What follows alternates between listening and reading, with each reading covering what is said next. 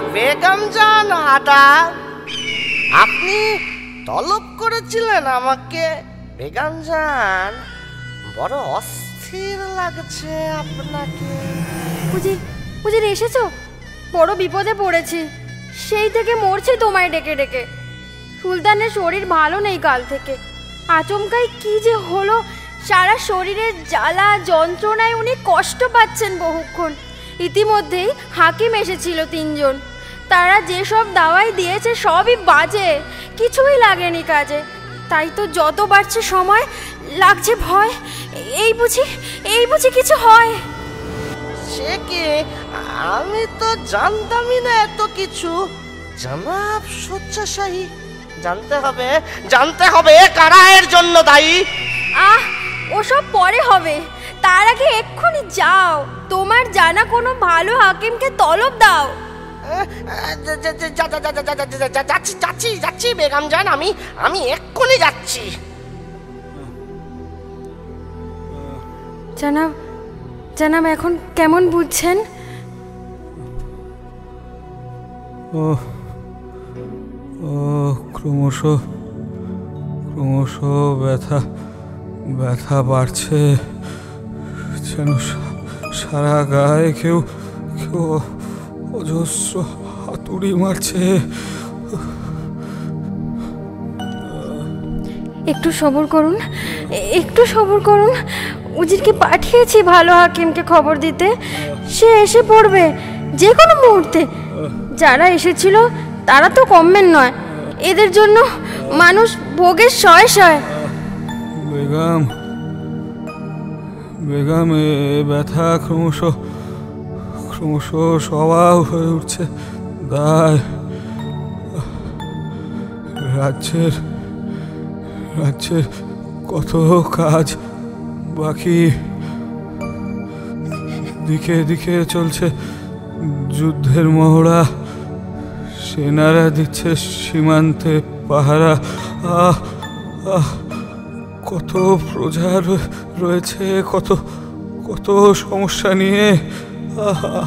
আমি কি আমি কি শুয়ে থাকতে পারি এসব এসব বাদ দিয়ে?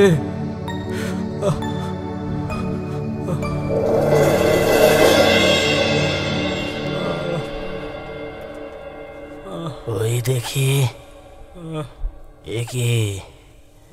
শরীর যে ভীষণ গরম। যে কোনো জটিল রোগ মনে হচ্ছে। হাকিম সাহেব হাকিম সাহেব সুলতানকে সারিয়ে তুলুন আগে। আমরা দিতে প্রস্তুত তার জন্য যা যা লাগে।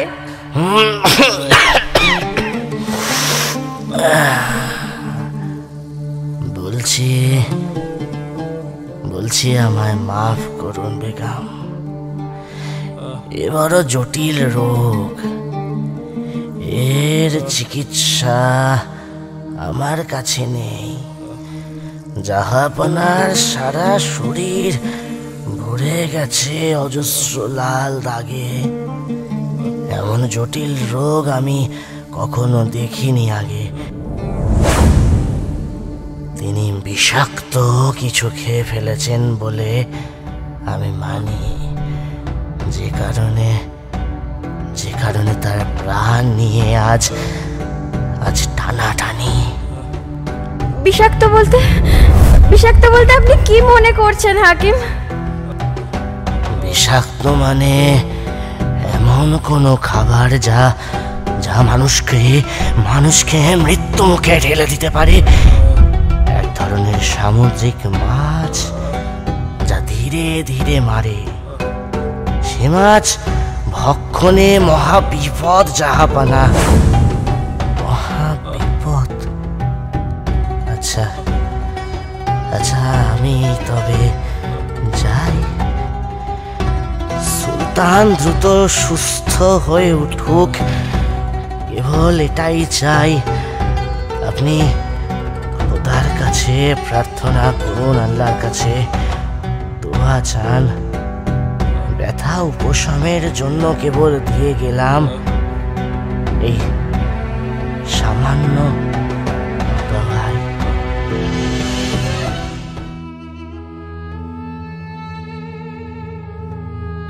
রসইকর রসইকর, শোনো।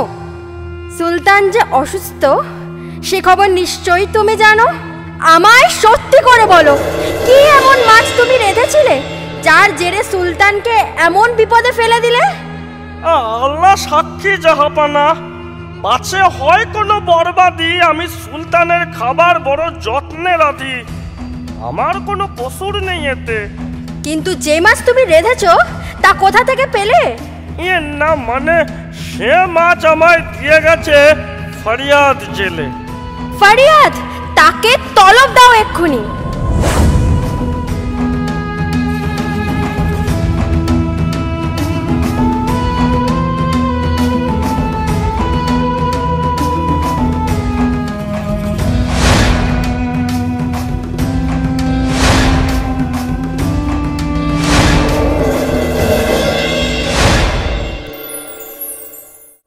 এই তো এই তো এইখানে। তোমার নামই বুঝি ফরিয়াদ?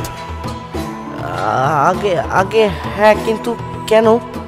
মহল থেকে এসেছে ডাক। তোমায় যেতে হবে আমাদের সাথে। এই বেলা ছটপট কাজ মিটিয়ে নাও যদি বেগমকে অখুশি করতে না চাও। কিন্তু কেন এই জরুরি তলব? আমি যে আমি যে কিছুই পাই না আজ। সাগরে যাচ্ছিলাম ধরতে মাছ মাঝপথে কাজ বাকি রেখে কীভাবে এখন যাই? ওসব বলে লাভ নাই। বেগম যখন ডেকেছে তোমায় জানবে ব্যাপার গুরুতর। তার কথা মতোই কাজ করো। কিন্তু বিষয়টা কি? তোমরা কোনো আভাস দিতে পারো? যতদূর জানি সুলতান অসুস্থ কাল থেকে। তার হয়েছে জটিল অসুখ। বেগমের মুখ ভার উজিরের নেই সুখ। হয়তো এ বিষয়ে কিছু জানতে চাইবে তোমার কাছে। ওখানেই বলো যা তোমার বলার আছে। হে আল্লাহ আল্লাহ এখন এখন তুমি সহায়। না জানি কোন বিপদ অপেক্ষা করছে দোরগোড়ায়। আচ্ছা আচ্ছা চলো, যাওয়া যাক।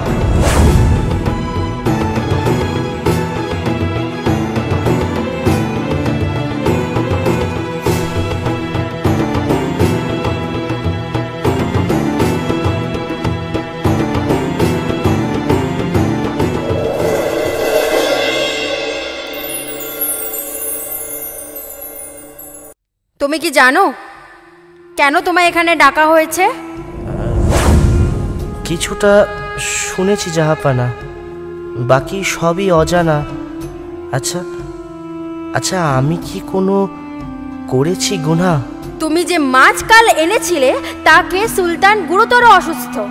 একথা জানিয়েছে হাকিম সাহেব। তাই তলব দিয়েছি তোমায়।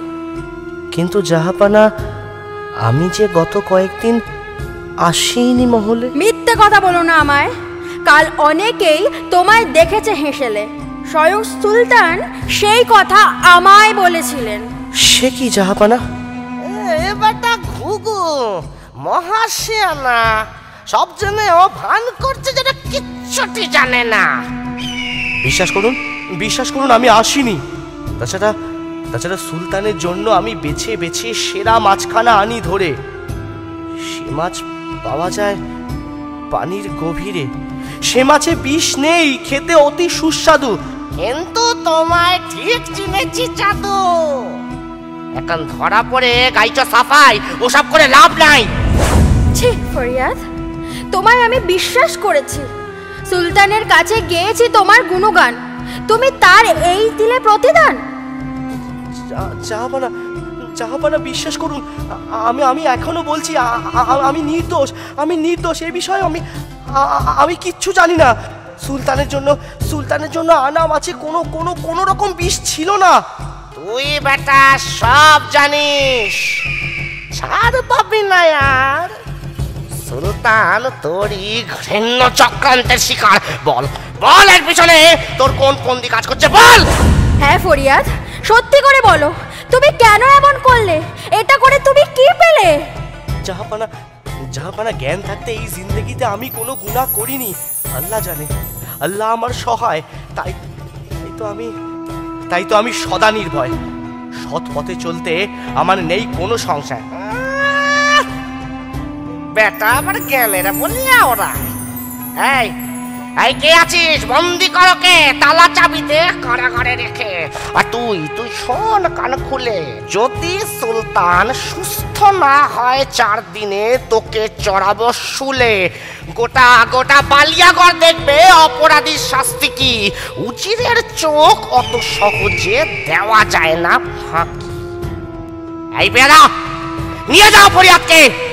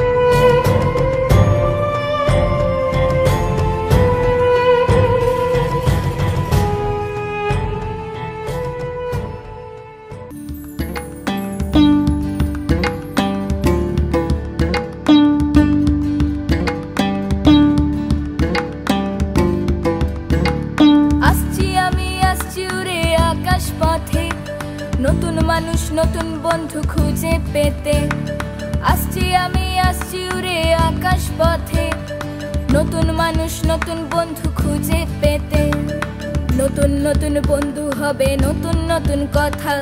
নতুন নতুন বন্ধু হবে, নতুন নতুন কথা।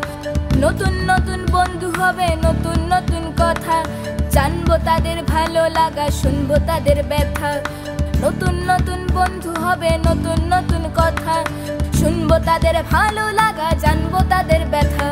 সাগর দ্বীপ ছাড়িয়ে, পাহাড় চূড়া পেরিয়ে, সাগর দ্বীপ ছাড়িয়ে, পাহাড় চূড়া পেরিয়ে আসছি আমি, আসছি উড়ে। আসছি আমি, আসছি উড়ে। আসছি আমি, আসছি। কে যেন কাঁদে ওই যে দূরে। কে যেন কাঁদে ওই যে দূরে। আসছি আমি, আসছি উড়ে সাগর দ্বীপ থেকে বালির শহরে। আসছি আমি, আসছি উড়ে সাগর দ্বীপ থেকে বালির শহরে। আসছি আমি, আসছি উড়ে সাগর দ্বীপ থেকে বালির শহরে। আসছি আমি, আসছি উড়ে সাগর দ্বীপ থেকে বালির শহরে।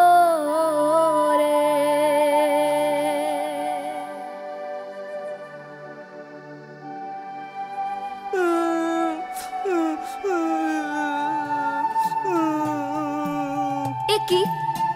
তুমি কে? তুমি কাঁদছো কেন? আমার নাম সুলেমান, আমার দাদা বন্দি, বড় বিপদ তার।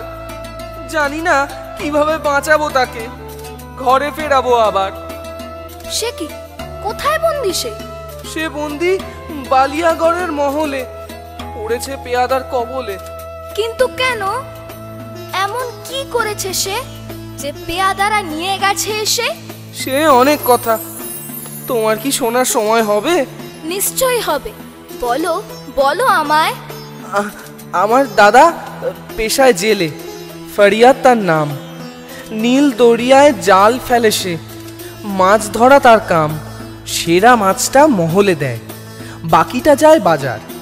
এমনি করেই কাটছিল দিন, খুশ ছিল দিল রাজার। হঠাৎ করেই বদলালো সব, বিপদ ধরল ঘিরে। সুলতানের কঠিন অসুখ, হাকিমরা যায় ফিরে।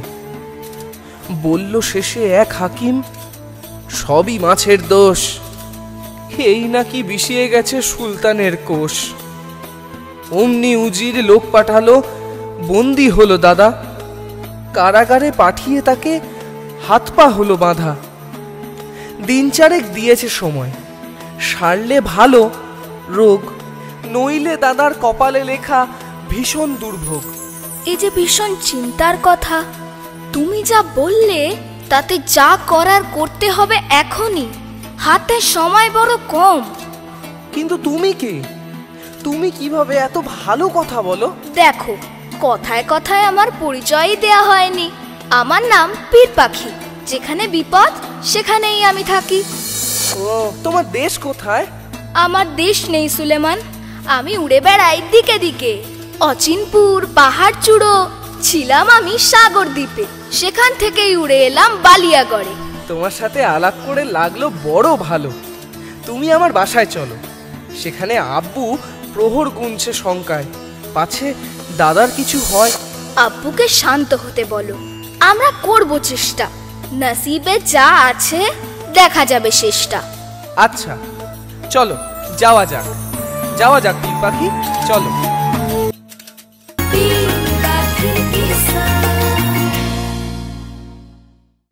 রকম রঙিন মজায় মেতে থাকতে সাবস্ক্রাইব করো তোমাদের প্রিয় চ্যানেল রঙিন টিভিকে। রঙিন মজা, রঙিন টিভি